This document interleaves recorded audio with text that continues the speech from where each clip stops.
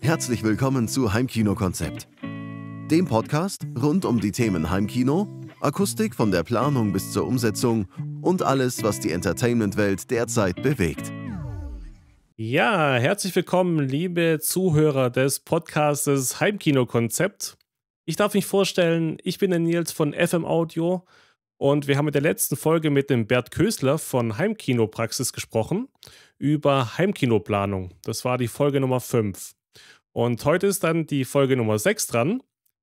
Und wir sprechen über die Entwicklung des Großkinos und auch die technologische Entwicklung im Heimkino. Genau. Und mit mir dabei ist heute wieder der. Der Fabio von Calibration Solutions. Hi.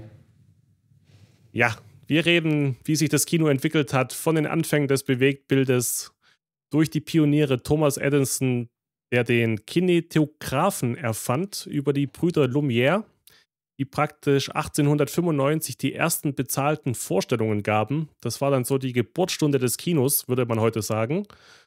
Ähm, ja, und bis heute hat sich halt die Technik extrem weiterentwickelt und da musste in der Gesellschaft halt schon extrem viel Überzeugungsarbeit geleistet werden. In den nächsten Jahrzehnten entwickelte sich das Kino als ein Massenunterhaltungsprogramm äh, oder Massenunterhaltungsform und breitete sich halt auf der ganzen Welt aus. Die Filme wurden zu einem wichtigen Teil der Popkultur und zogen ein breites Publikum an. Stummfilme waren zunächst die Norm und wurden dann irgendwann mit Live-Musik begleitet, wie zum Beispiel von einem Pianisten oder im Orchester.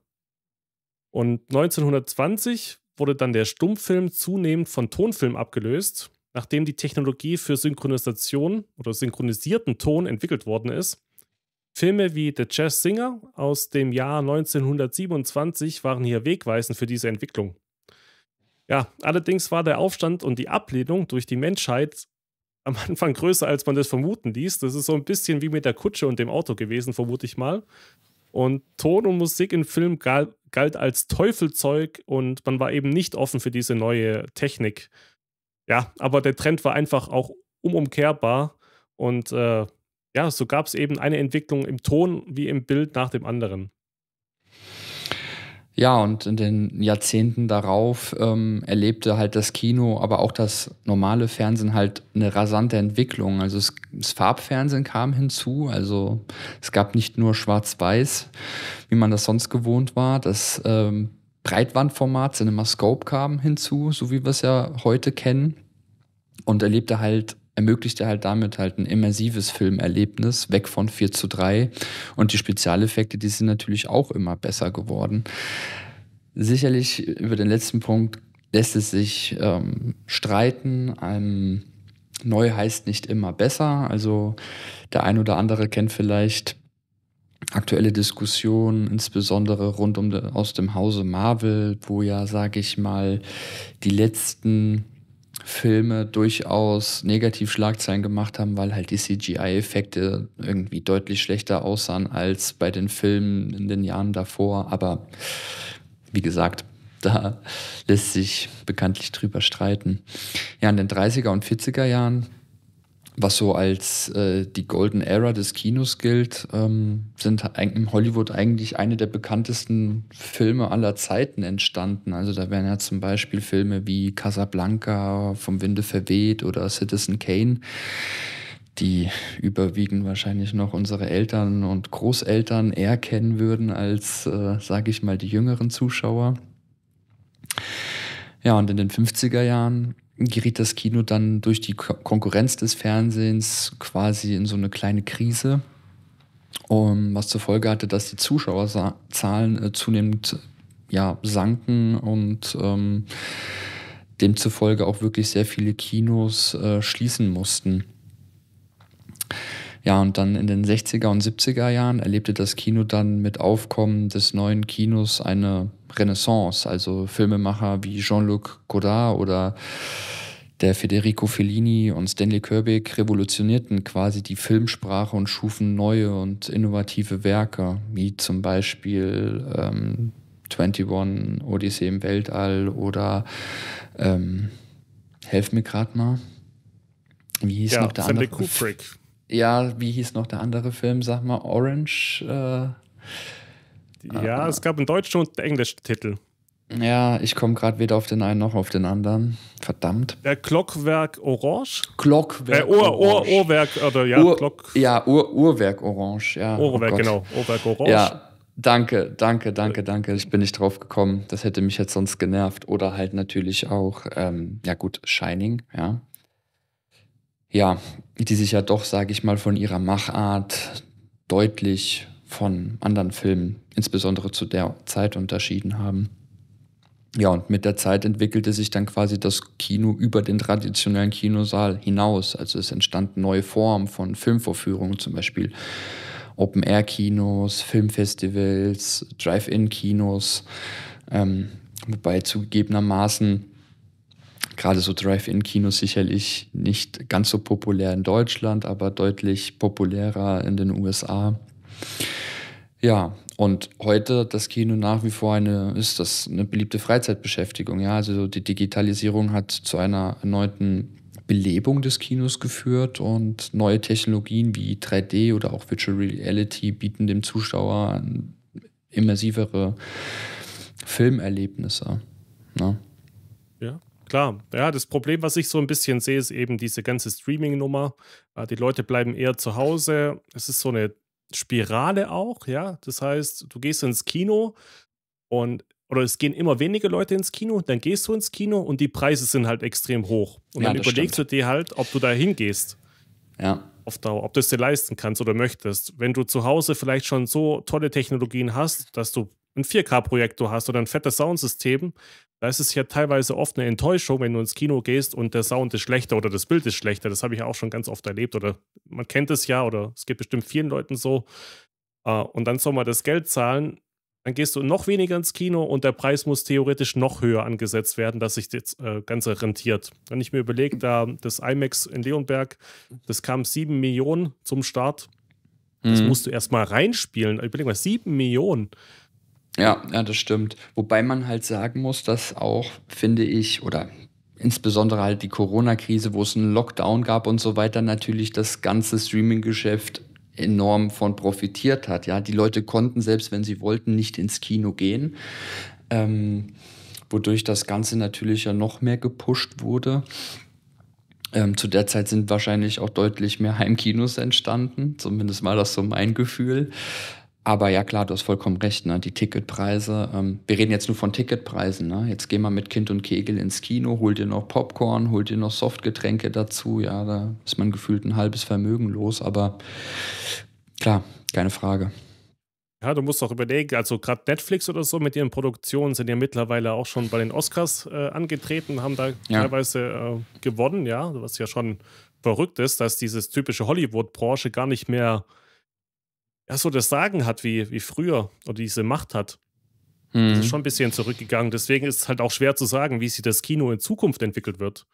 Und ich denke halt mal, oder da bin ich nicht alleine, dass das Kinoerlebnis noch interaktiver und personalisierter wird. Also gerade hier irgendwie mit Virtual Reality äh, könnte eine immer größere Rolle spielen. Jetzt hat ja Apple gerade erst seine neue Brille vorgestellt. Mhm. Ähm, technologisch natürlich krass, so was da theoretisch geht, laut den Werbevideos. Aber ich kann es mir halt einfach nicht vorstellen, wie jetzt alle Leute mit so einer Brille, die dann bestimmt auch ein paar Gramm wiegt, mit Akku und so weiter, äh, da, da rumsitzt. Also die Interaktion zu deinem Nebensitzer fehlt ja dann auch. Komplett. Ja, wobei ähm, auch das Erlebnis, was du ansprichst, ne, auch natürlich für diejenigen, auch von den Zuschauern, die ne, ein eigenes Heimkino haben. Ich finde, es ist trotzdem irgendwie immer noch mal was anderes, wenn man jetzt, sage ich mal, mit der Family oder mit Freunden sich dazu entschließt, halt ins Kino zu gehen und einen Film ähm, ja im Kollektiv zu genießen. Ne? Ich finde, das ist irgendwie immer was, was ganz Besonderes, ne? Weil zu Hause, klar, das, das hat ja extrem seine Vorzüge, ja. Man kann jederzeit sich zurückziehen, äh, man hört kein Popcorn rascheln oder irgendwelche nervigen Gelächter oder Zwischenrufe, ne? Aber ich weiß nicht, ich finde das irgendwie auf seine eigene Art und Weise ziemlich ja, charmant, ähm, ins, ins kommerzielle Kino zu gehen. Ich weiß nicht, wie du das siehst. Ja, ich weiß nicht, weil ich das letzte beim Kino war. Doch, weiß ich, es war tatsächlich im IMAX zu Avatar 1, so als Wiederholung. Ich habe mittlerweile, ich habe noch nicht mal Avatar 2 geschaut. Schande über mein Haupt. jo, wow. Was? Okay, okay. Ich würde sagen, wir beenden an der Stelle den Podcast. ich komme zu nix. Ja. ja. Nee, aber ja. steht noch ganz weit oben auf der Liste, muss ich sagen. Mhm. Aber ja, es war auf jeden Fall ein Erlebnis, aber äh, es war leerer als gedacht, muss ich sagen. Aber mhm. selbst da, obwohl das Kino leerer war als gedacht, gab es natürlich ein paar Störenfriede. Wie soll es auch anders sein? Ja, klar. Äh, Die hat ja. man halt immer, ne? Aber ähm, ja, ich, ich finde, wenn man jetzt nochmal so vielleicht äh, kurz auf, auf das Thema der, der heutigen Folge zurückkommt, Thema Technik und auch ganz gut, dass du den, den Avatar erwähnt hast. Ähm, erster 3D-Film, wann war es? Lass mich kurz überlegen. 2009 2000, muss das gewesen zwei, sein. Ja, ja, ganz genau. 2009, der erste Film, der in 3D im Kino gezeigt wurde. Und meiner Meinung nach auch der beste 3D-Film, der je im Kino gezeigt wurde. Ähm, ist natürlich Geschmackssache, aber der hat natürlich eine enorme Welle losgetreten. Ich erinnere mich, wie dann, sage ich mal, in den Jahren darauf gefühlt alles, wirklich alles in 3D lief im Kino, ja. Ähm, wobei man quasi schon ab Mitte dieser Welle auch als Laie gemerkt hat, okay, man versucht hier irgendwie auf einen Zug aufzuspringen, um die Ticketpreise künstlich in die Höhe zu treiben. Ähm, es gab neben Avatar meiner Meinung nach kaum einen Film, der diese diesen Effekt, diesen immersiven, tiefen Effekt und 3D-Effekt so gut umgesetzt hat wie, wie, wie, wie der Film, ja. Wobei, ähm, ich kann mich nicht mehr ganz so gut erinnern, aber ich bin mir fast sicher, es war äh, Final Destination 5, schon über mein Haupt, äh, damals im Kino gewesen und der ist mir lustigerweise auch noch extrem positiv in Erinnerung geblieben. Da gab es auch wirklich ein paar krasse Szenen in 3D. Ähm, wo man quasi so ein bisschen zurückgeschreckt ist. Warte, warte, ich melde mich, ich melde mich. Das war Final Destination 4. Ah, Und zwar okay. als die Nesca-Szene gleich am Anfang kam, ja, wo dieser Schraubenschlüssel entgegenkam. Ja, oder dieser ja. Reifen. Ja, ja, dann war das Alle vierte. im Kino sind nach hinten gesprungen oder zur Seite. Ja, genau die Szene und genau den Teil meinte ich. war mir jetzt nicht mehr sicher, ob es der vierte oder der fünfte Teil war. Und ähm, ja, aber klar, von so ein paar Randerscheinungen abgesehen war halt wirklich Avatar das Master-Ding und ist halt nichts mehr daran gekommen. Ne? Und ich sag mal, nicht ganz umsonst ist ja, sag ich mal, das Thema 3D zumindest auch im nicht kommerziellen Bereich quasi ausgestorben. Ne? Also ähm, 2016 ging ja so ein Stück weit die Ära, zumindest im TV-Bereich, äh, zu Ende. Ja, die letzten 3D-fähigen Geräte, die da quasi produziert wurden.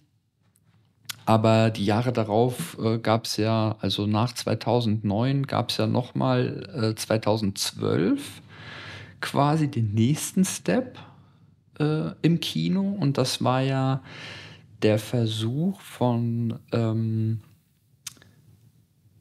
der Hobbit mit der High Frame Rate von Peter Jackson mit ja. 48 Bildern pro Sekunde statt der üblichen 24. Und auch da war ich im Kino. Ich kann mich auch noch sehr gut daran erinnern. Und ich fand das mega strange. Also das war, das war so eine Hassliebe. Ähm, ne, ich bin natürlich als Kalibrierer natürlich ein absoluter Bildpurist. Ja, also ich verwende keinerlei von Zwischenbildberechnungen ähm, und mag das 24p ruckeln. Ja, also ich brauche das. Ja, und das war für mich wirklich total seltsam. Das war so ein bisschen surreal, weil das sah alles so für mich ein bisschen aus wie eine schlechte Folge von GZSZ. ähm, aber auf der anderen Seite fand ich das extrem krass, weil es natürlich schon äh, ja jegliches ähm, übliche Kameraruckeln oder halt 24p ruckeln, was die Technologie einfach äh, mit sich bringt, weil es ja ein Relikt aus der Steinzeit ist, ja, ähm, quasi ausgemerzt hat. Ja, hast du den auch im Kino gesehen oder? Nee, den habe ich nicht im Kino gesehen in High Frame Rate. Also gesehen habe ich ihn natürlich, aber eben hm. ganz normal. Ja, Okay. Ja. Aber ja, jetzt sind wir doch schon relativ weit gesprungen im Zeitalter. Wir haben euch mal ein paar äh, ja. Daten mitgebracht, so wie sich das Ganze entwickelt hat, wie wirklich die ersten Schritte waren. Und ähm, die technologische Entwicklung ist halt sehr eng mit der Fotografie und der Elektrizität verbunden. Und da mhm. waren so die wichtigsten Meilensteine 1826. Und zwar war das der Franzose Joseph Niepce und der hat das erste Foto aufgenommen. Das Foto könnt ihr euch gerne mal im Internet anschauen. Da kann man sich jetzt streiten, ob man das heute noch Foto nennen würde. Aber er hat praktisch sein Zimmer aus seinem Zimmerfenster fotografiert in die Stadt rein, beziehungsweise in das Dorf. Und du, du erkennst da nichts, wenn dir keiner sagen würde, dass es das Dorf sein soll und du siehst praktisch, wie das ausgesehen hat. Das kannst du dir nicht vorstellen. Also, ja, aber das war halt eben der Anfang, 1826. Und 39, also dann 13 Jahre später, wieder ein Franzose, und zwar der Louis Daguerre, entwickelt den Daguerre-Retypier. Wahrscheinlich, und das heißt vielleicht auch auf Deutsch anders. Ähm, das ist auf jeden Fall ein Verfahren zur Herstellung von lichtempfindlichen Platten gewesen. Genau. Und dann 68, also deutlich später schon wieder, äh, war Engländer am Start, und zwar der Edward Mybridge. Und der erfand das Zoopraxikop, ein Gerät zur Projektion von bewegten Bildern. Ja, dann ging es weiter. Und das ist eigentlich ganz interessant. Also hat dann auch wieder mit der Fotografie zu tun und dann später auch mit dem Film. Da war der Amerikaner George Eastman, der erfand den Rollfilm. Und du kennst sicherlich die Firma, die daraus entstanden ist. Du darfst mal raten, wie sie heißen könnte. Kodak. Richtig. genau, das war Kodak. Und jetzt geht es eigentlich erst los. Jetzt waren ja die technischen Sachen so gegeben, dass man überhaupt einen Film produzieren konnte, zumindest als Bild oder als Video. Und 1900 habe ich, äh Quatsch, 1895 habe ich ja schon angekündigt, ähm, waren es eben die Brüder Lumière, die, die eben diesen ersten Film präsentiert haben, einem geschlossenen Publikum. Und die Technologie dahinter nannte man Cinematograph. War praktisch der erste ja, Projektor im Endeffekt war der erste Apparat zur Projektion von Film auf Celluloidstreifen. Ja, genau. Und es gab halt auch ganz viele Zwischenschritte. Also wir reden jetzt vom 19. Jahrhundert im Endeffekt. Äh, eigentlich schon, ist es noch nicht so lange her, aber gefühlt ist es halt eine Ewigkeit her. Und, Ein Jahrhundert, äh, ja, über, ja, mehr als das, ne? Also es ist ja. schon Wahnsinn, ja, ja. Und ja, da gab es halt auch ein paar Stilmittel, die sich daraus entwickelt haben, natürlich, wie man es äh, heute kennt, oder beziehungsweise, also als Gestaltungsmittel war es eben der Amerikaner Edwin Porter, der den Schnitt halt erfand. Den, den Schnitt des Filmmaterials, dass man eben äh, ja, zusammenhängende Stücke wegschneidet und dann so hinfabriziert als Stilmittel, wie man es eben braucht wie man es eben kennt. Heute wird es ja immer schneller. Du hast Marvel angesprochen. Da passiert ja im Millisekundentakt irgendwas, so gefühlt. Man wird überladen. Mhm. Die Reizüberflutung ist extrem. Ja, und bei den Filmen wie Citizen Kane ist es einfach so, dass es halt eher ruhig gehalten ist und der Film mit Story glänzt.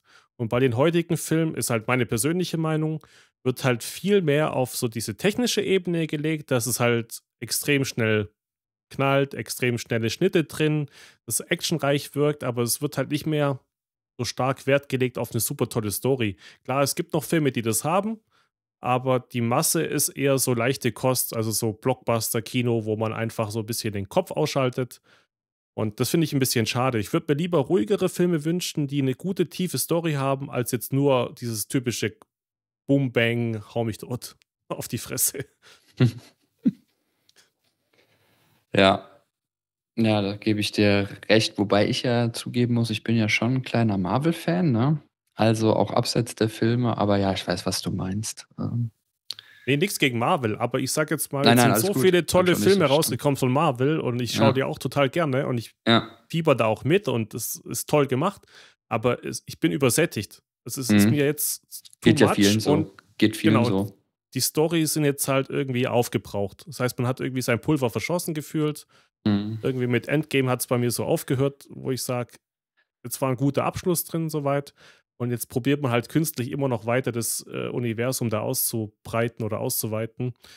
Finde ich halt irgendwie, ja, die Fans brauchen das, verstehe ich auch vollkommen, aber es ist halt schwierig, dann noch irgendwie die Leute mitzureißen, noch mehr und immer wieder. Ja, das haben ja, sage ich mal, auch die Zuschauerzahlen der letzten Ableger gezeigt, dass da schon ein Stück weit von Übersättigung ja die Rede ist. Ne? Selbst als Fan, ich bin riesen Marvel-Fan, ich habe untertrieben, aber ja. Aber es ist vielleicht eine eigene Podcast-Folge wert. Wir können ja vielleicht noch mal ein Stück weit weitermachen mit, den, mit, den, mit der Zeitlinie. Ähm, dann ging es weiter, äh, also das müssen wir auf jeden Fall ablesen. Es tut, tut uns leid, aber das sind teilweise Namen bei, das kann man sich, das kann man. das stimmt. Also nur, dass Gott die Zuschauer und Zuhörer das mal mitbekommen. Also wir haben ja. natürlich ein paar Fakten, dass wir kein Quatsch erzählen, weil so viele Sachen äh, kann ja. man sich, denke ich mal, nicht merken. Also Ganz genau. in unseren Fachgebieten ja, okay. Ja. aber so Zahlen und äh, Namen, das müssen wir dann schon ja, richtig. Wir wollen, wir, es, soll, es soll ja auch, sage ich mal, wir wollen ja hier ähm, keine Unwahrheiten erzählen. Von daher, ja, 1927 ging es ja dann weiter. Dann ähm, kam der erste Tonfilm heraus äh, mit dem Jazzsänger von Alan Crossland und Al Jolson. Es war quasi der erste Film, der in Spielfilmqualität verfügbar war und wurde seinerzeit von Warner Brothers produziert. Dann acht Jahre später, 1935, kleiner Sprung in die Zukunft, ähm, das Unternehmen Technicolor hat dann quasi ein weiteres Verfahren zur Herstellung von Farbfilmen eingeführt. Das war zu dem Zeitpunkt dann tatsächlich schon die vierte Entwicklung von Technicolor, die aber die vorherigen Verfahren ähm, ja quasi äh, auf ein neues Level gehievt hat. 1953, dann hat, ist erstmal lange, lange nichts passiert tatsächlich. Also erst knapp 20 Jahre später ist dann das CinemaScope-Format eingeführt worden. Aus dem 35 mm Streifen wurde dann anfanglich erst ein 2,55 zu 1 Format projiziert und später dann zu dem uns bekannten 2,35 zu 1 beziehungsweise 2,4 zu 1. Ja, weitere sieben Jahre später, 1960, kam dann die 70 mm Filmtechnik hinzu. Hm, heutzutage wird 70 mm nur noch sehr selten genutzt. Aber äh, ein Stichwort gäbe es da noch zu erwähnen. Äh, du wirst das wahrscheinlich auch so gewusst haben als Ja, das ist das einzige Tonformat gewesen, was du halt dann digital noch bespielen konntest. Das genau. ist so genau. eine Besonderheit gewesen. Das war nämlich DTS. Genau. Ja, wir machen nochmal einen kleinen Sprung. 15 Jahre nach vorne, 1975, Dolby Stereo wird eingeführt, aber anders als man sich denkt, wird ist bei Dolby Stereo nicht ein Zweikanal-Lichtton, sondern der Vierkanal-Lichtton vorhanden. Das bedeutet, dass zwar typischerweise zweispurig aufgenommen wurde, aber die Matrize Vierkanal hergab und zwar links, Mitte, rechts und Raumklang. So fühlt sich das also an mit dem ganzen Audiofachwissen. Ja? Ja gut, ich meine, das ist auch ganz interessant. Du denkst ja bei Stereo erstmal an zweikanalige Wiedergabe und dann hast mhm. du eben dann auf dem Master sozusagen hier äh, vier Spuren drauf, wenn du sie nutzen möchtest. Aber in Wirklichkeit ist es oft auch Mono aufgenommen worden und die zweite Spur wurde dann zur Rauschunterdrückung genommen. So mal als kleiner Hintergrund dazu. Ähm, Nochmal kurz zu der CinemaScope-Geschichte. Ich habe da mal ein relativ aufwendiges Video für gemacht. Das werde ich auch mal in die Show Notes reinpacken, äh, ja. weil ich ja selber eine CinemaScope-Leinwand habe und eben mit der Anamorphot-Technik da projiziere, was ja, ja ein bisschen oldschool ist zum Teil, aber mir gefällt es einfach, wie das umgesetzt wird. Heutzutage geht es natürlich, weißt du, auch besser hier digital mit dem Bildprozessor und so weiter, aber äh, ja, das ist so, so, sozusagen die physikalische Umsetzung der Geschichte, wie man es heute halt digital machen könnte. Ja. Genau. Ähm, ja, wir sind auch quasi fast durch. Also wir machen dann, jetzt kommt eigentlich schon der letzte Major-Sprung nach vorne und zwar in mein Geburtsjahr 1990. Ähm, da hat so allmählich die Digitalisierung des Kinos begonnen.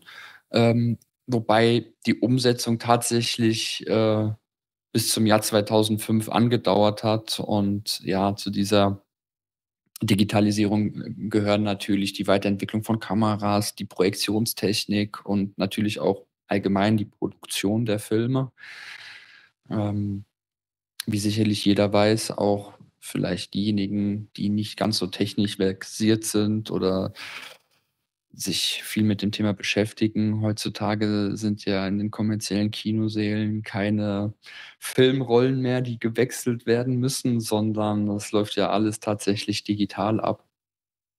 Und ja, die Entwicklung, die begann, wie gesagt, 1990.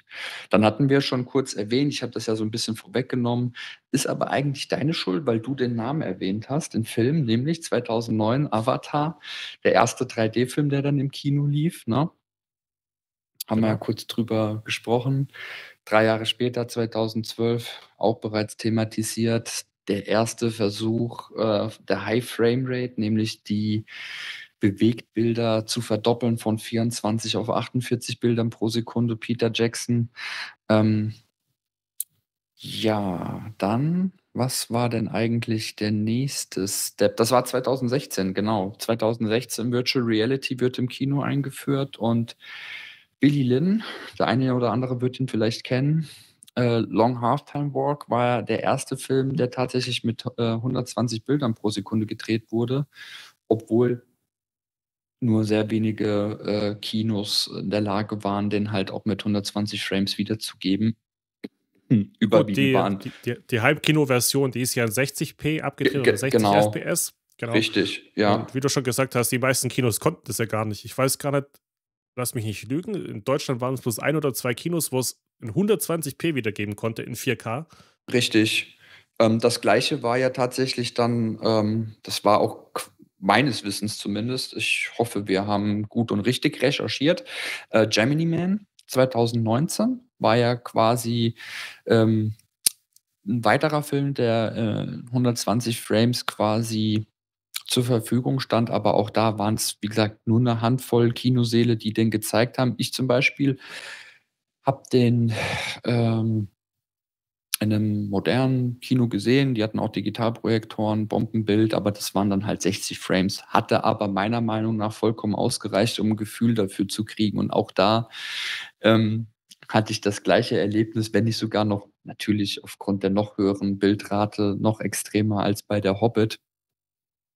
Ähm, es war, es, es fühlte sich einfach nur strange an, ja. Und nichtsdestotrotz, aus rein technologischer Sicht ähm, stellen die Filme halt natürlich schon einen Meilenstein in der Verwendung von High Frame Rate dar, ne? weil das ist eine Technologie, die immer noch eher die Ausnahme als die Regel im Kino ist. Wie gesagt, es gibt ja jetzt neben Hobbit, Gemini Man und Billy Lynn meines Erachtens nach keinen Film, im High, Frame Rate Format und ja, die Wirkung auf das Publikum und der Industrie, die war halt schon durchaus gemischt. Ne? Also es gab ja sehr viele Debatten ja über den visuellen Komfort und die immersiven Vorteile gegenüber der traditionellen 24 Bilder pro Sekunde. Ne? Und ich reihe mich da durchaus ein. Also ich fand das unfassbar spektakulär, gerade Gemini Man Actionfilm, da ging es ja richtig, richtig zur Sache. Ähm, also wie gesagt, ich weiß nicht, wie es dir ging, aber bei Gemini Man war es auch so eine, so eine Hassliebe. Also ich war total beeindruckt von der Technik und ähm,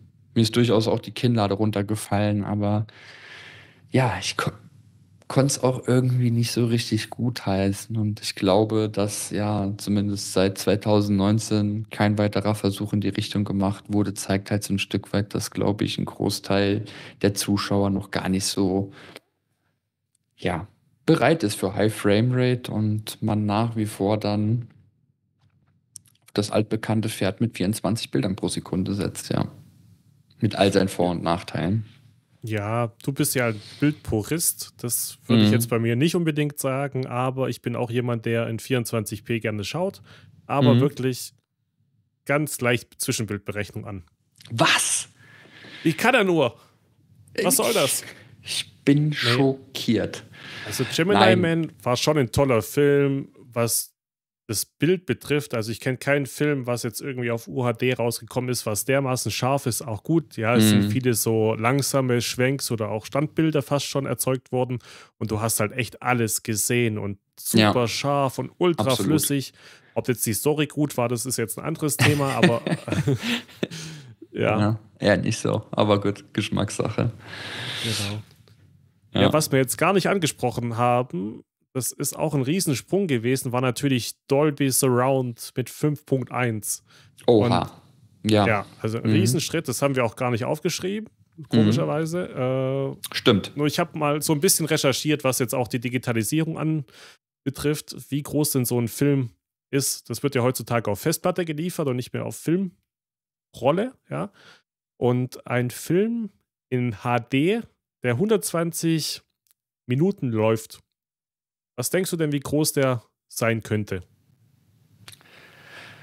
Ich schätze so um die 100 Gigabyte. Ja, hast du, hast du gewusst. ja. hey, ich, also, bei, nein, nein, also un, ungelogen, also ähm, das, war jetzt, das war jetzt geraten, tatsächlich.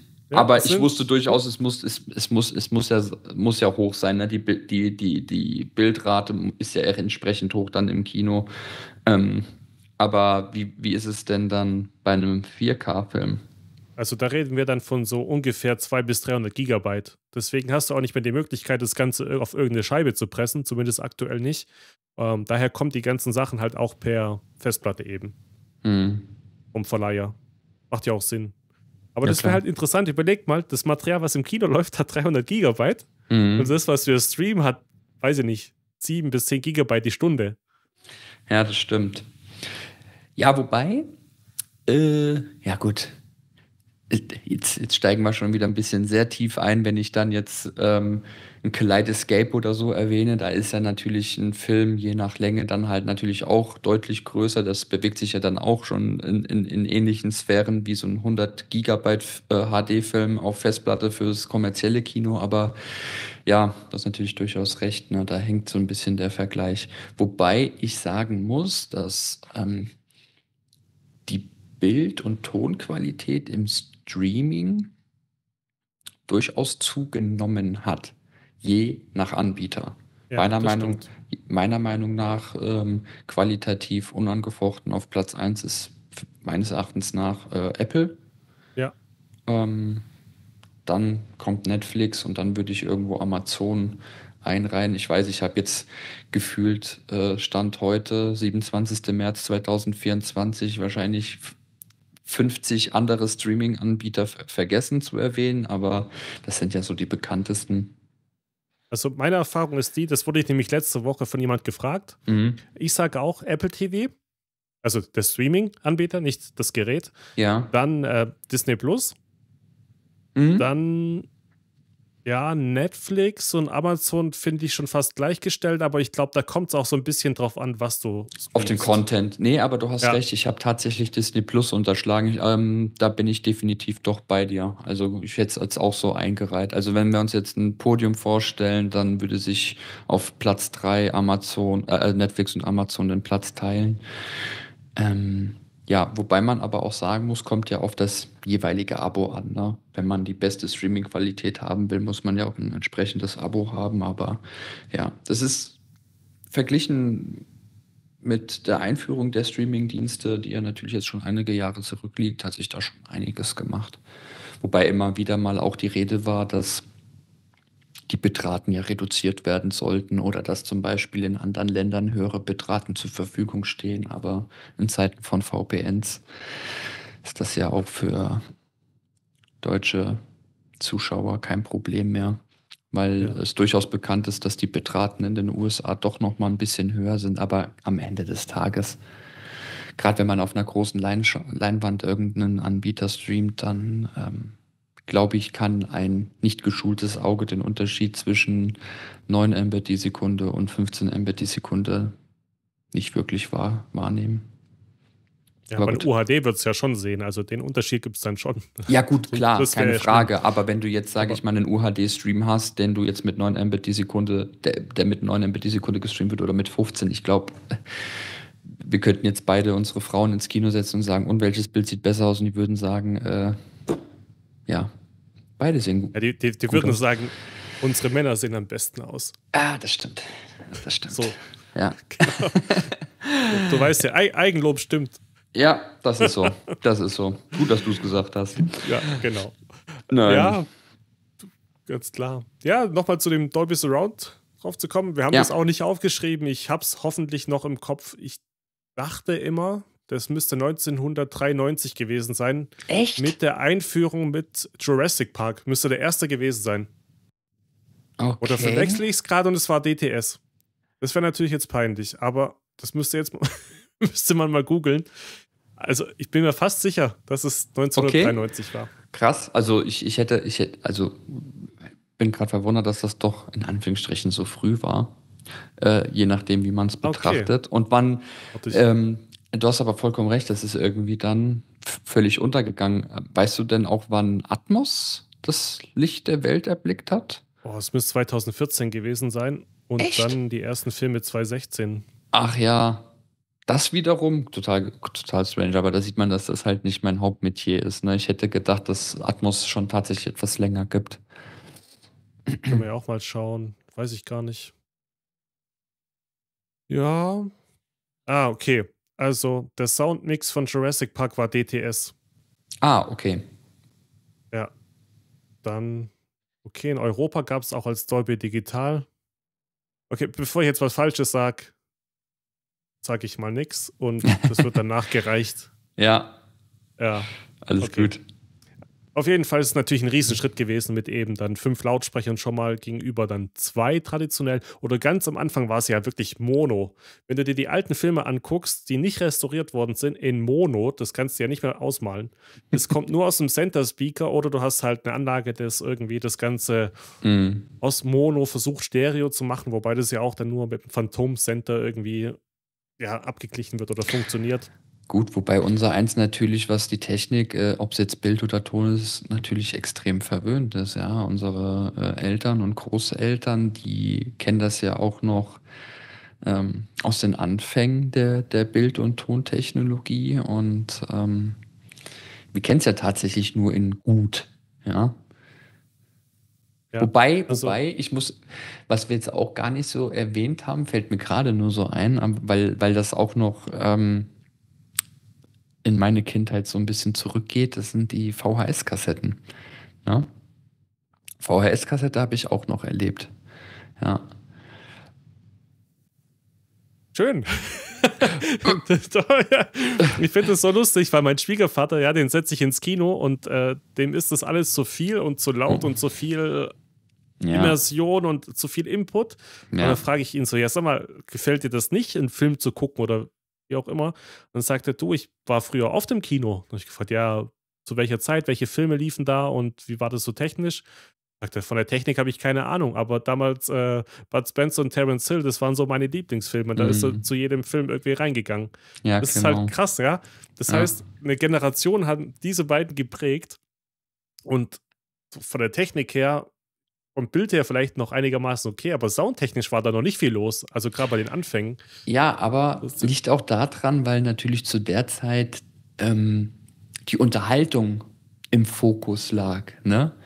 Also wirklich, da ging es ja darum, die Leute zu unterhalten.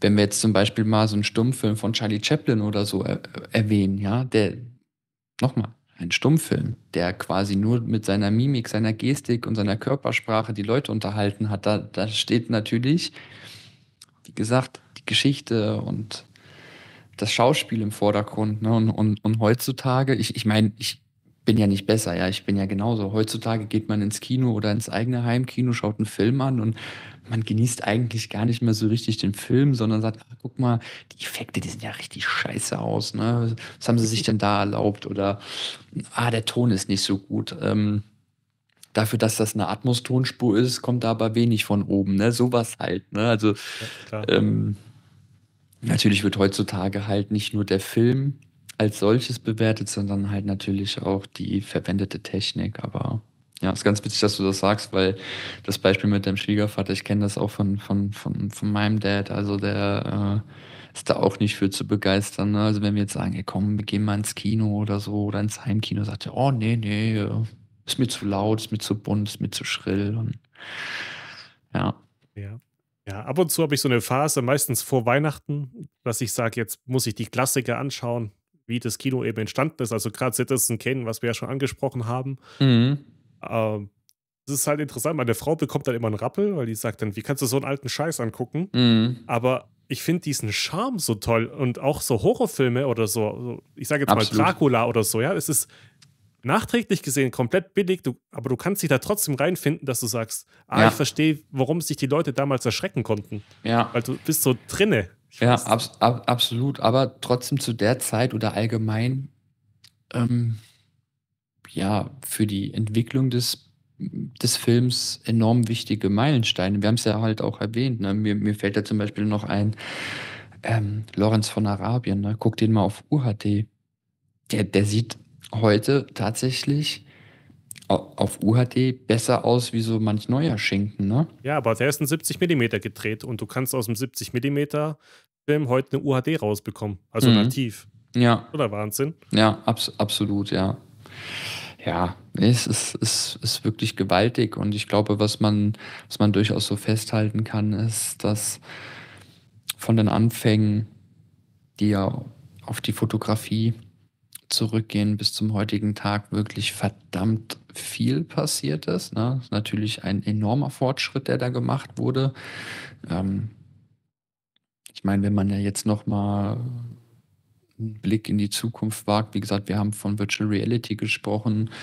Ähm, ich muss gestehen, ich weiß gerade gar nicht, wie es so um den Versuch von James Cameron aussieht mit einer speziellen 3D-Leinwand ohne 3D-Brille. Ne? Das Ähm, sollte ja das eigentlich. Gab's, genau, es gab Gerüchte.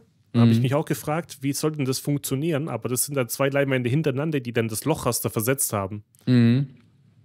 Dass du da mit zwei Projektoren Das sollte, das sollte ja, glaube ich, sogar auch mit Avatar 2 eingeführt werden. Ne? So Genau. ein bisschen. Und es gibt schon, es gab schon Kinos, Mhm. sorry, dass dir jetzt so ins Wort reinfallen, aber es gut. gab schon Kinos, die das versucht haben. Das ist interessant. Es ist eigentlich gar keine neue Erfindung von James Cameron, aber er wollte das umsetzen und massentauglich machen. Das war so eigentlich die Idee dahinter. Ja, ich finde das aber ganz cool. Er ist ja wirklich, was so, ja, Bildtechnik angeht, durchaus als Pionier zu betrachten, ne? Und so ein bisschen außerhalb der Box denkt. Das finde ich immer, immer ganz spannend. Ähm, deswegen guck unbedingt Avatar 2. Ja, Ja. Hol das mal nach. Ist empfehlenswert. Aber nein, ist auf jeden Fall durchaus spannend, ähm, wie sich die ganze Technik entwickelt hat im Bild und Ton. Auf der anderen Seite ist es genauso interessant zu sehen, dass es teilweise noch, wie zum Beispiel die 24 Bilder pro Sekunde, so gesehen ja ein Relikt aus der Steinzeit ist, ja, was ja auf die Anfänge des Bewegtbildes zurückgeht und sich bis heute quasi gehalten hat. Oder auch das Bildformat, ja, was in den 50er Jahren, das CinemaScope-Bildformat, was entwickelt wurde, ja, bis heute Bestand hat, ne? Ja, das ist auch witzig, weil diese Entwicklung, äh, da gab es damals Studien, ab wann das menschliche Auge praktisch eine bewegte, eine, eine Bewegung flüssig sieht. Und Mhm. das war sogar schon unter 24 Bilder. Und ähm, damals war das Problem, warum man nicht mehr Bilder genommen hat. Das äh, Filmmaterial ging nicht mehr dann auf die Rolle drauf. Das heißt, entweder wäre die Rolle zu groß geworden oder du hättest dann praktisch einen Cut machen müssen und dann noch, also viel, es, es war halt auch teuer, ja. Du hättest viel mehr Filmrollen gebraucht und dann das zusammenschneiden und es wäre dann nicht auf die Projektoren draufgegangen und so weiter. Das hatte so einen Rattenschwanz. Mhm. Ähm, das wäre heutzutage natürlich schon möglich, dass man sagt, ja, okay, dann nimmt halt keine 320 Gigabyte Festplatte, sondern mal eine Terabyte Festplatte. Diese, das, das gab es damals nicht. Das konnte man nicht umsetzen, so wie man es Mhm. gedacht hatte. Richtig. Genau. Ja. Ja.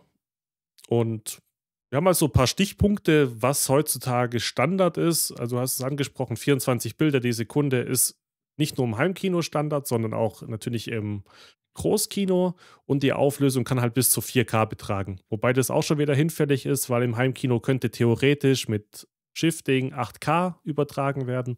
Aber ja, Standard 4K hat sich wirklich durchgesetzt. Also auch in kleineren Kinos ist 4K Standard seit einiger Zeit.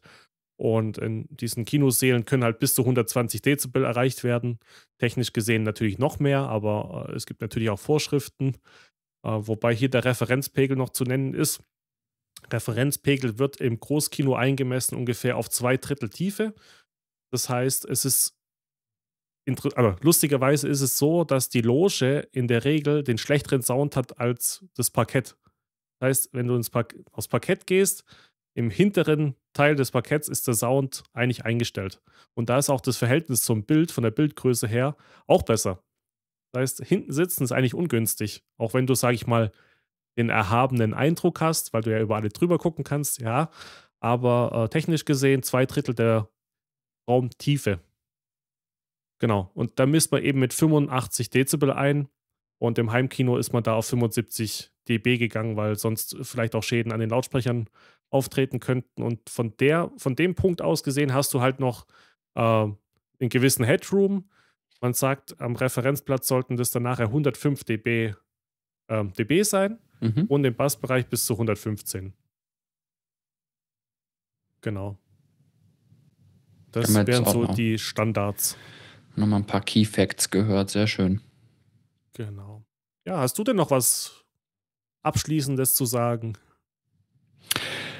Tatsächlich, ähm, außer dass ich gespannt darauf bin, was die Zukunft im Bereich der Technik noch bereithält, äh, tatsächlich nicht. Also ich glaube, uns erwarten äh, auf jeden Fall noch ein paar Überraschungen im Bild- und Tonbereich. Ähm, die wir natürlich spannend verfolgen, insbesondere jetzt vielleicht nicht unbedingt im, im, im kommerziellen Kino. Ich glaube, ähm, da wird jetzt, sage ich mal, in den nächsten Jahren sicherlich nicht mit irgendwelchen Evolutionen zu rechnen sein und Major-Sprüngen.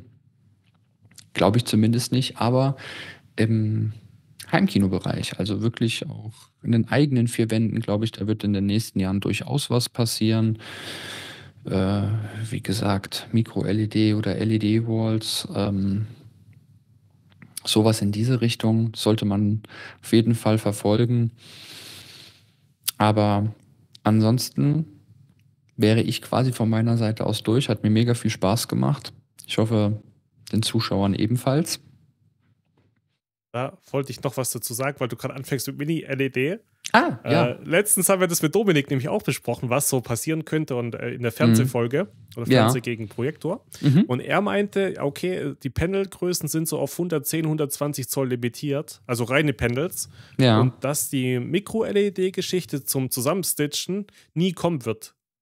Also, das denkt er wahrscheinlich. Also, das hat er gesagt, zumindest. Äh, Gut. Ja, ähm, weil es gibt gewisse Sachen, die haben halt Nachteile. Zum Beispiel, du musst die Farbtreue natürlich pro Panel haben, dass man keine Unterschiede sieht. Und es gibt eine extreme ähm, Stromzufuhr aktuell noch, beziehungsweise auch eine relativ hohe Abwärme. Und wenn diese Abwärme eben im äh, Heimkinoraum stattfindet, dann musst du natürlich auch aktiv kühlen oder lüften. Gut, und natürlich, was man an der Stelle auch noch erwähnen kann und sollte, ist, dass es natürlich für den Otto-Normalverbraucher heute noch quasi nicht bezahlbar ist. Ne? Äh, genau. Insbesondere halt in den Panelgrößen, von denen du gerade gesprochen hast. Ja. Genau. Ja. Ja, gut. Dann sind wir soweit durch. Mhm. Ähm, alles weitere findet ihr in den Show Notes. Da tue ich euch nochmal so ein paar Stichpunkte aufschreiben, wie die Entwicklung war. Ähm, auch wieder typischerweise unsere Links und wo ihr uns findet. Ihr könnt uns auch gerne abonnieren bei den ganzen Podcast-Anbietern wie zum Beispiel Spotify, Deezer, Google Podcast, Apple Music, Amazon Music oder hier auf YouTube, falls ihr das hier guckt, ähm, unter FM Audio als Videopodcast. Und es wäre halt schön, wenn ihr uns halt Feedback gebt, da freuen wir uns auch. Oder auch Kritik oder falls wir irgendwas Falsches gesagt haben, dann können wir das vielleicht nochmal in den Show Notes korrigieren. Ansonsten könnt ihr uns gerne auch eine E-Mail schicken an podcast.heimkinokonzept.de oder eben die Kommentarspalte unter dem Video nutzen. Ich bedanke mich fürs Zuhören und eure Aufmerksamkeit und freue mich dann auf die nächste Folge mit euch. Bis zum nächsten Mal. Danke, Fabio, dass du wieder dabei warst. Ich bedanke mich ebenfalls bei dir und bei den Zuschauern, Zuhörern und sage auch bis zum nächsten Mal. Jawohl. Ciao. Ciao. Das war Heimkino-Konzept.